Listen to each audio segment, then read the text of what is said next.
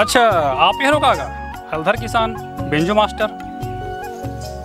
हाँ मिहिता हूँ अच्छा मैं सुने हो आप मन अपन खेत ला बेचने वाला हो बेंजो बजा के। हाँ लेकिन वो खेत के तो मूल भाव हो गए तो अच्छा का हम बेचो हो आप मन अपन खेत ला? सोलह लाख प्रति एकड़ के हिसाब से बेचे हो। मैं यहाँ आप मन ला आपके खेत के बत्तीस लाख रुपए प्रति एकड़ दूँ। परंतु दाऊ जी मैं यहाँ पचहत्तर हज़ार एडवांस बियाना के रूप में ले चुके हूँ। तो कहोगे बियाना वापस कर दो। वहाँ तक तो ठीक है लेकिन बियानल में कैसे लेके वापस करूँ। अरे तो झूठ बोल देना का? मुला खेत नहीं बेचना है की के हाँ दाऊ जी मैं यहाँ बियाना ला वापस करत हूँ मोला खेत ला बेचे के विचार अब नहीं होत।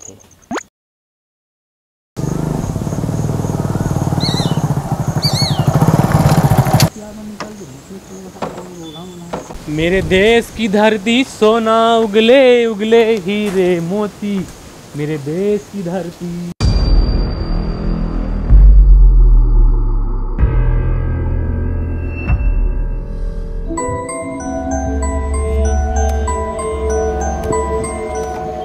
हाँ हाँ हाँ हाँ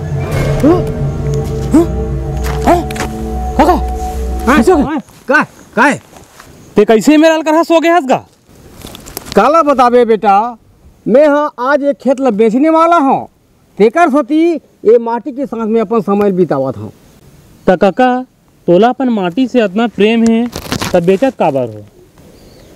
का है जी भतीजा किसानी में ना एक आना भी फ़ायदा नहीं है। दवाई गोटी के पुरतन भी पैसा वसूल नहीं हुआ तेकर सती में थर खा के बेचत हूँ भतीजा।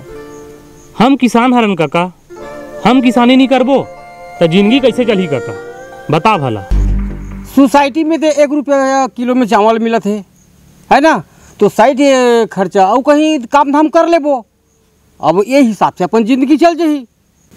देख काका अगर तोर का सबो की सोची कि एक रुपया किलो में सोसाइटी में चावल मिला थे की के यही सोच के अगर हर किसाना किसानी करना छोड़ दी तो किसानी कौन करी? और किसानी कोई नहीं करी तो अनाज कहाँ पैदा हुई? और अनाज पैदा नहीं हुई तो सोसाइटी में अनाज कहाँ लाई हाँ सर मैं किसान के पास आ गया हूँ। ये लो हलदर किसान से बात कर लो। हाँ साहब जी। हाँ साहू जी आपके अंतिम फैसला का है? हाँ हाँ बेचू ना सर। ये बता भाई तोर साहब हा खेत ला लेके का करी ऐसे बात है भाई मैं तो पूरा बात ला बता दूँ तो मोर साहब के साथ गद्दारी हो जी। लेकिन मैं किसान मन के भला चाहत हूँ और ते पूछा था तब बतावत हूँ। ये बिजनेसमैन मन के ना, बड़ा खतरनाक प्लान है जी। ये बिजनेसमैन मन चाहते कि सब किसान अपन खेत ला बेच दे। फिर ये बिजनेसमैन मन मशीन से खेती करी। फिर अनाज केवल ना बिजनेसमैन के पास रही। फिर वो मन अनाज ला स्टोर करके रखी। और जब दुनिया में अनाज के संकट आई, तब वो निकाली और औने पौने दाम में बेची। समझे काका? अभी तो, तो एक रुपया किलो में सोसाइटी में चावल खा हस। और कोनो बाद में ए भैया बता तो उसने हो जी। फिर अनाज के दाम तो पूरा आसमान छू ली तो काला खाबे कांदा कंदील खाबे अभी भी ते अपने धरती माता बेचना चाहतस अरे यार किसानी जी नहीं हुए तो फिर किसानी रख के काय करबे? अच्छा तोर समस्या मात्र किसानी हरे ना काका। त मोर पास ओकर समाधान है। का समाधान है? ताम्रकार कृषि केंद्र। ताम्रकार कृषि केंद्र? गए है सुहा? नहीं। वहाँ कृषि संबंधित सब प्रकार के दवाई रखते फ़सल में का बीमारी है और का दवाई डालना है सब बताते। अच्छा।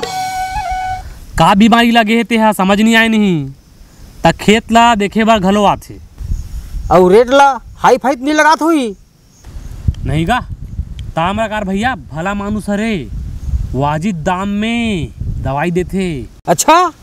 एक बार ताम्रकार भैया से संपर्क करो आपके समस्या के समाधान हो जाए अच्छा? तो ये ताम्रकार कृषि केंद्र कहाँ है? बोरी गाँव जिया थाना है दुर्गा जिला के। अच्छा। तो उधारी घलो सही थे? अरे हाँ बिल्कुल। छह महीने बाद फ़सल काट और पैसा ला दे दे। अरे वाह तैसा में तो बड़ा जोरदार है यार। कैसे का? तो सुर तो मुझे दूसरा दिखा थे अब ज़मीन ला बेचबे तो नहीं बेचा साहब ला बताए लगी भाई। अरे भैया अब तो मोर समस्या के समाधान मिल गए। वो ताम्रकार बोरी वाले हवे कृषि केंद्र। अब ओकरे घर जाहूँ दवाई पानी लूँ अब भैया भैया तोर साहब ला बता दे। अब मोला ज़मीन नहीं बेचना है।